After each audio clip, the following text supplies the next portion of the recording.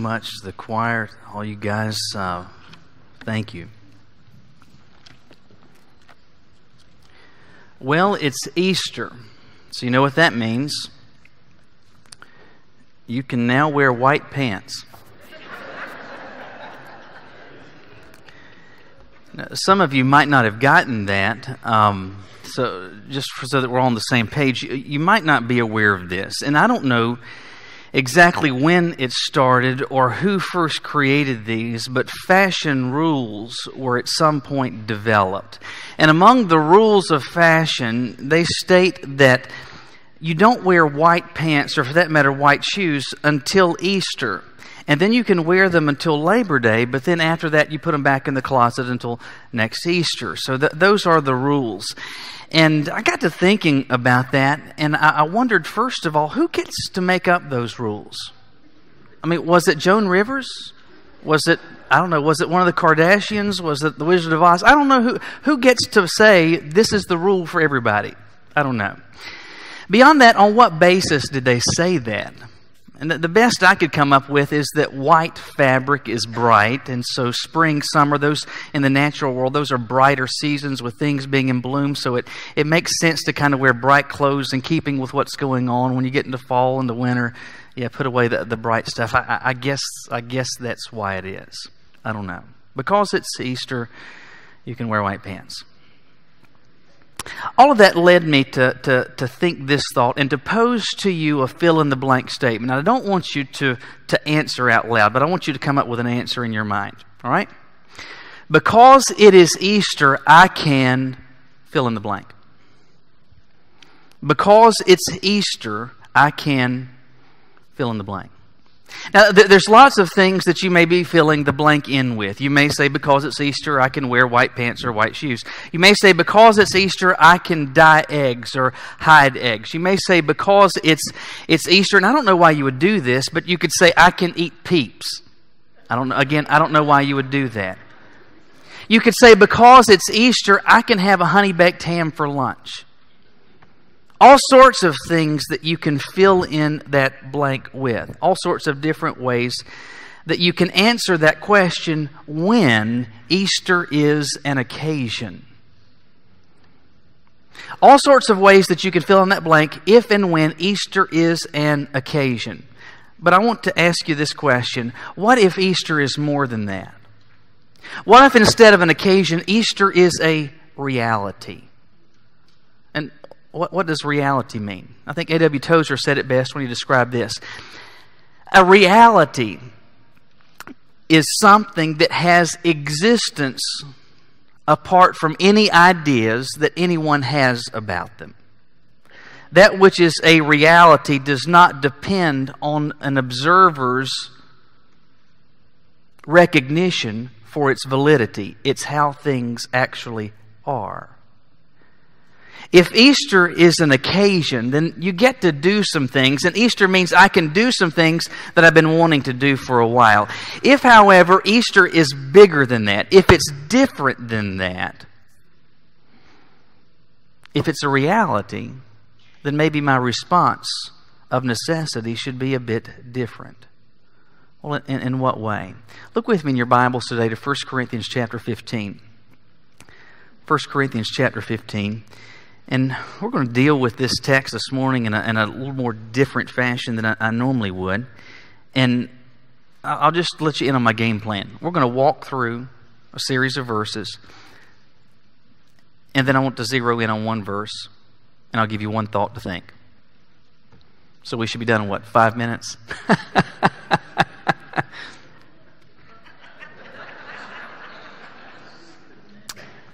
First Corinthians 15. Paul begins this chapter, and obviously, he's writing to a group of believers in the city of Corinth, hence Corinthians. And out of the gate, he starts in verse 1 and he says, I declare to you the gospel. So I, am writing to you the gospel. And he says that, that I first preached to you. So when I actually came to Corinth and was preaching there, I shared with you the gospel. You received it, and it's on this gospel that you stand. It's what your faith is built on. And then in the verses that follow, he begins to unpack some of the facts of the gospel.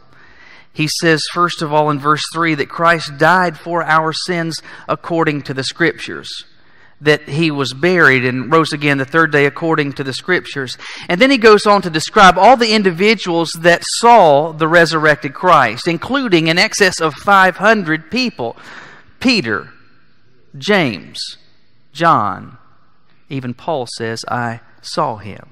These are the facts of the gospel. By the time you get to verse 12, though, he's, he's changing focus all of these facts that he's described, Paul is aware that there is a singular linchpin to them. He says, This is the gospel. This is what I shared with you in person. It's what I'm writing to you about again now. The linchpin to all of this is the resurrection of Christ. And in verse 12, he says this and is alluding to a challenge that the Corinthians were facing. And what clearly was going on is that some folks have become a part of the church family there. And as they made their way into the church, they brought in some ideas and began to espouse some views that, that, that weren't actually correct. In fact, quite frankly, were very damaging. And in short, what they were saying is that there is, in fact, no resurrection from the dead. So you have this life, however many days or years that you have. You have this life, and when this life is over, when you breathe your last, the bucket is kicked, the curtains are closed, the lights go out, and that's it. And so Paul says in verse 12 If Christ is preached that he has been raised from the dead, how do some among you say that there is no resurrection from the dead? So he's saying, listen, I just went over with you the facts of the gospel, the linchpin of which is the resurrection of Christ. Yet there are people that are a part of this church that are telling you, and many of you are starting to buy into this, that there is, in fact, only this life. That's it. There is no resurrection from the dead. And Paul's point, as he builds on that, starting in verse 13, if there is no resurrection of the dead, then Christ is not risen. I mean, if, if Christ could not overcome death, then there's no way that I am, and there's no way that you are. There's no resurrection of anyone. We are hopeless. And he says, and if Christ is not risen, then first of all, he says, our preaching, all the stuff I'm saying to you, it's empty. It is void of anything of meaningful content. Beyond that, he says, your faith is empty. Nothing of meaningful content. Furthermore, he says, we are found false witnesses of God. We're lying about God. And then he says, If Christ is not risen, your faith is futile. You are, I am, we are still in our sins. And if that's the case in verse 19, it means the only hope that we have concerning Jesus is just while we're here in this life. And if this is the only time for which there is hope concerning Jesus, well, to uh, among all men, among all people on the face of the earth, we are to be pitied the most. By the time you get to verse 20, he's back on target. And he's saying, in short, all this has been to, to reason with you, to deduce with you. But Christ is risen because there is a resurrection from the dead, and He's the first fruits of it. He's the proof of this. And beyond that, he describes how there is going to be, and those who follow Christ have an expectant hope that one day this one who is risen from the dead is going to make right all that sin made wrong. And one day there is going to be the death of death, and Christ is going to reign over all. So th- there's his argument. All that leads us up to verse 29. Everything I've said thus far has just been kind of preparatory because of what Paul is getting ready to say. He's laying the groundwork, he's laying the foundation for what he says beginning with verse 29. By the time you get, though, to verse 32, he says this if in the manner of men I have fought with beasts at Ephesus. What's he talking about there? If I fought with beasts at Ephesus. Well, you're probably aware from, even if you weren't a great history student, aware of the fact that the Romans were and still are very much considered among ancient cultures to be very advanced. And they had been able to come up with all sorts of pretty impressive technology for the limitations of the day. And their understanding of, of physics and of science and of medicine for the day, it was quite astounding. And though they, they were in so many ways an enlightened culture, they were still very much a barbaric and violent culture, where, among other things, the, for sheer sport and for the entertainment of the masses, prisoners would be dumped into the field of an enormous arena, seating thousands of people, and people would come in and cheer and watch and laugh and yell and scream and love it as they watch a prisoner fight for his life against an angry wild animal.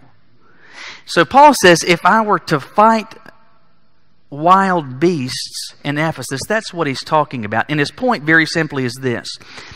If because of my commitment to Christ I were to be imprisoned and then tossed to the lions in an open amphitheater, if I were to suffer an excruciating, horrible death like that for the sake of Christ, if He is not risen, not only have I wasted my time, I've wasted my life. I've, I've done this for no benefit, for no good cause. If there is, in fact, no resurrection, in particular, no resurrection of Christ, this should be my life's motto. You see it at the end of verse 32. Let us eat, drink, for tomorrow we will die.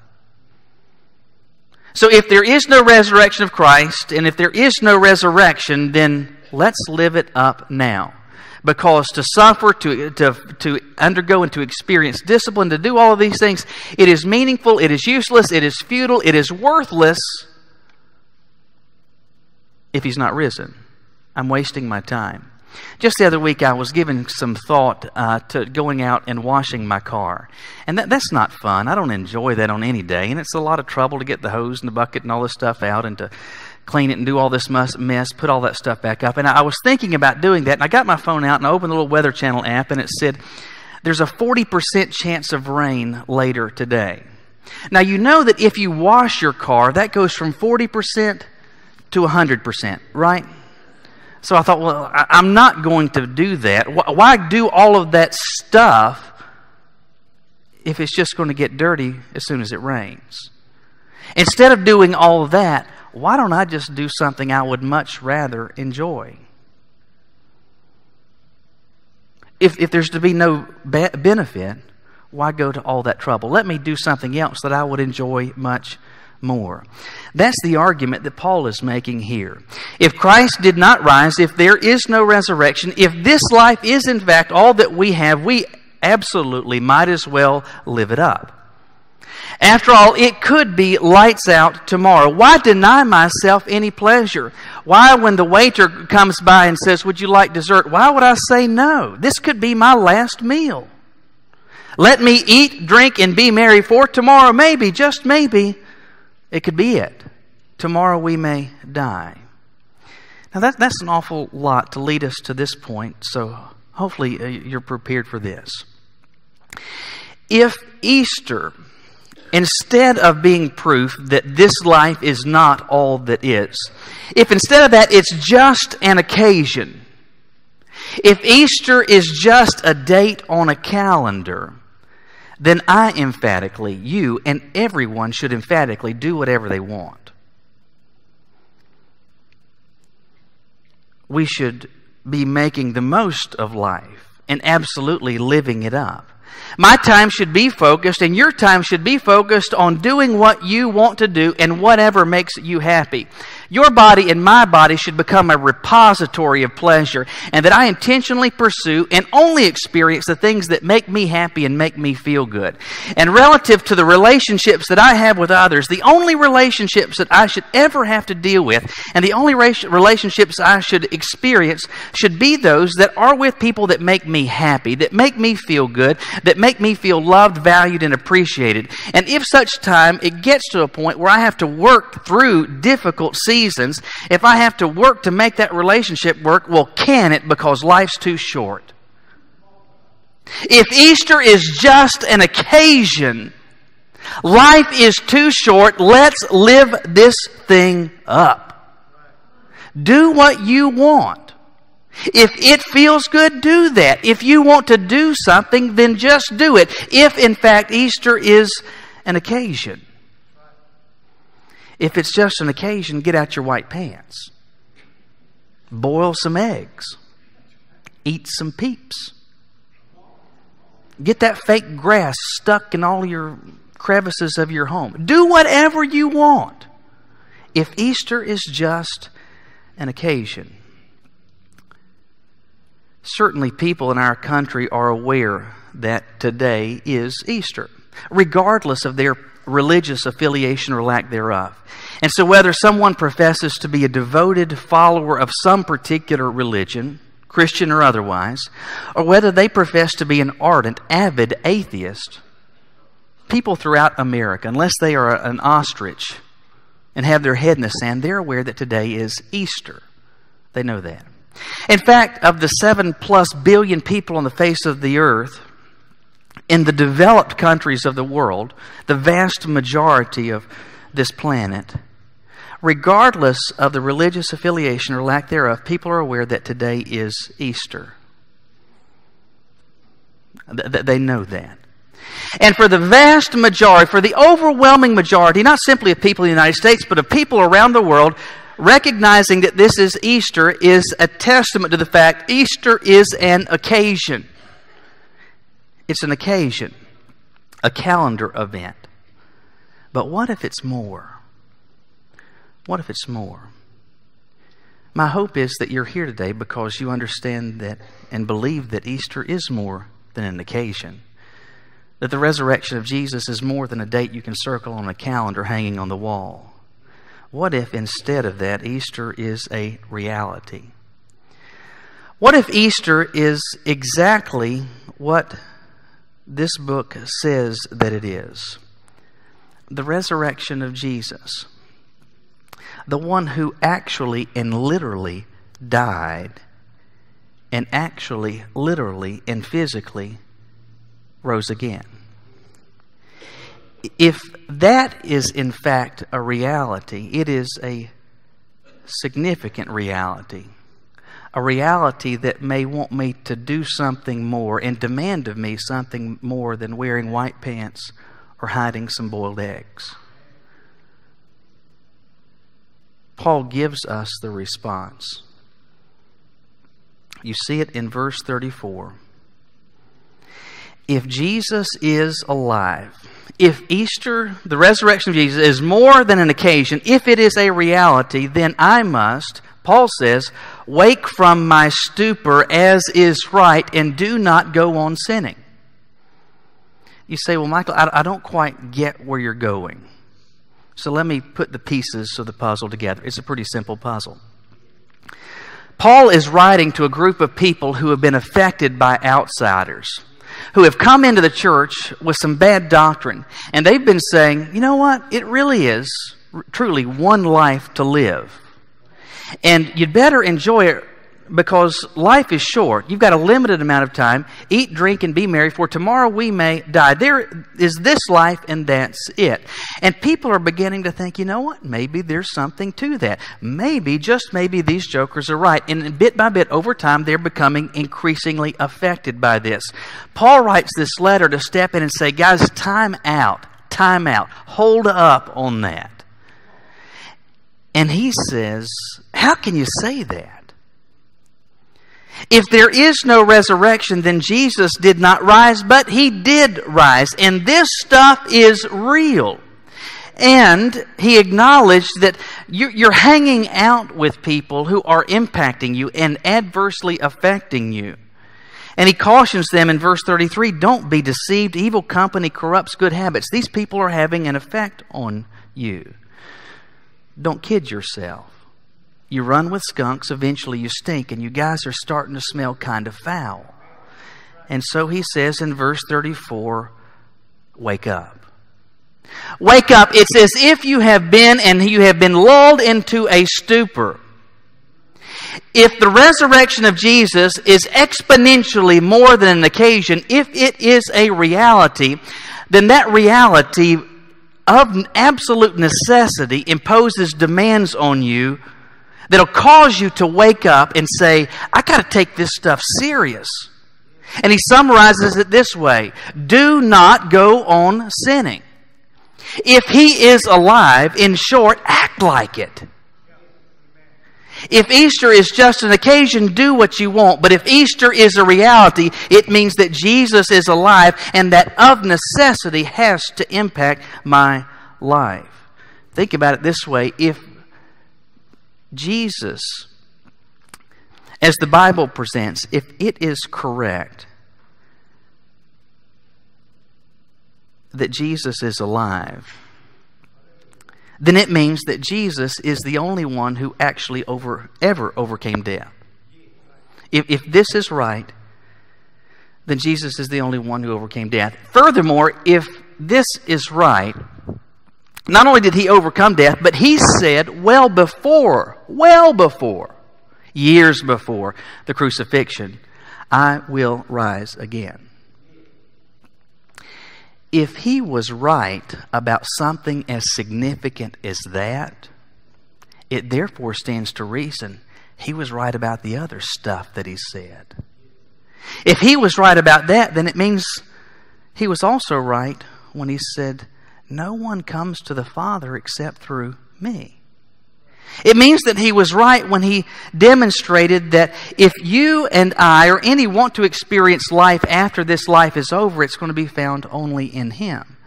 It further means that if he's right about that, he's also right when he said, These behaviors are good and right. Do those. These behaviors are wrong and bad do not do those. If he's right about this, he's right about everything. And if he's right about everything, and if Easter is far more than an occasion, if it's a reality, then I got to wake up and start taking this stuff seriously. This stuff's not a game. This is not idle pablum that I am engaged in putting all of this together, if Jesus is, and I believe confidently that He is alive, that is a reality that of absolute necessity affects my life completely. Among other things, it means that I take Him and this living with and for Him seriously. And I live like He's alive. Martin Luther is a name that I hope you're familiar with. Uh, it's the name of a man who became the igniter for what we came to know later as the Protestant Reformation. Martin Luther had been formerly a, a Roman Catholic monk. And as he was studying, in particular, the book of Romans, came to realize that God was very clear that salvation is by faith alone, through grace alone, in Christ alone. And so, as he began to write and began to speak, that very much made him an enemy and put him at odds not only with the Roman Catholic Church, but with the Pope in particular. And this opposition that he began to experience over time became quite intense. And when you're opposed like he was, it begins to take an emotional toll on you. And his wife, Katerina, came home one day to find Martin Luther sitting in a chair, staring off in the distance in an absolute fit of despondency he is, it's not just he's kind of having a blue day, he is in the depths of depression. She tries to talk to him and coax him and to say all the right things, but nothing that she says seems to have any effect. It's as if he's hardly even paying attention. And so finally, she has an idea. She goes upstairs and she puts on a long black dress. She covers her face with a black veil looking like someone who absolutely is going to a funeral. She walks downstairs, and Martin Luther sees her descending the steps and looks over and says, Who died? She said, God is dead. Immediately, he, he, he perks up and he says, Katerina, how in the world can you say that? It's blasphemous to say that. God is not dead. And she said very simply, which is worse, for me to say it or for you to act like it? Can I just be honest with you for a second? I don't think there's anybody here today I don't think there's anybody in this room who would say, Michael, the reason I am here today is because I'm pretty doggone sure that Jesus is dead. That's, that's why I got up and that's why I left the house. That's why I showered this morning, so I could come and watch people uh, and hear people as they sang and uh, open the Bible and pray and do all this stuff because I'm pretty sure that Jesus is dead. I don't think that's why you came here today. I don't believe anybody would say that that's here today. But I do believe sincerely that there's a lot who certainly are acting like it. The motto, eat, drink, and be merry, may not be the stated motto of your life, but it may very well be an accurate description. You may go to church on Easter Sunday, or for that matter, every Sunday. But when the truth is told, you are living however you want. You say what you want. You do what you want. You treat people how you like. You do everything how you want to do it. You think this world is your Burger King and you have it your way. You do some good stuff, you do some bad stuff. If Easter is just an occasion, keep doing it. Keep doing it. In fact, if Easter is just an occasion, do whatever in the world you want to. It does not make any difference. If you want to be nice to people, you be nice to people. If you want to be crass and rude and disgruntled, then you behave and you operate that way. If you want to be honest, be honest. If you want to be dishonest, you be dishonest. You want to get drunk, get drunk. You want to do whatever you want. You want to sleep with who or whatever you want to. You do that because it does not make any difference if Easter is just an occasion. If, however, it is far more than an occasion and a reality, reality that absolutely happened, then it makes demands on my life.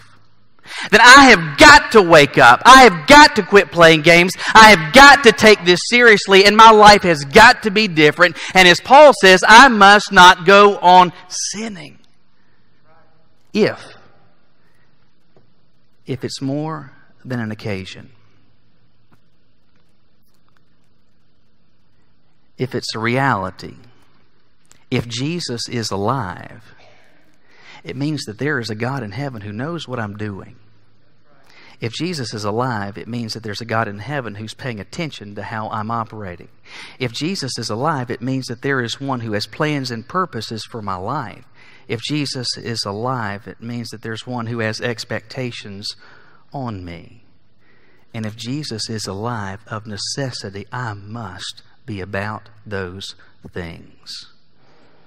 So, which is it for you? If this is just an event, enjoy wearing your white pants. Dye your eggs. Use a, a, white crayon on them first to put your initials on them. Do whatever you want.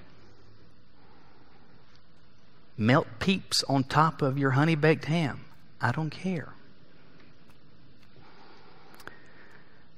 But if this is in fact a reality, if this did happen, then you and I, of necessity, if I profess to believe that, I, of necessity, must act like I believe it. I serve, the hymn says, a risen Savior. He's in the world today. I know that He is living whatever men may say. He lives. He lives. Christ Jesus lives today. He walks with me and talks with me along life's narrow way. He lives. He lives salvation to impart. You ask me how I know He lives. He lives within my heart. And when He lives within my heart, it changes everything. That's when it's a reality. Which is it for you? If Easter is just an occasion, big deal. If Easter and the resurrection of Christ is a reality, it's a really big deal. Will you pray with me?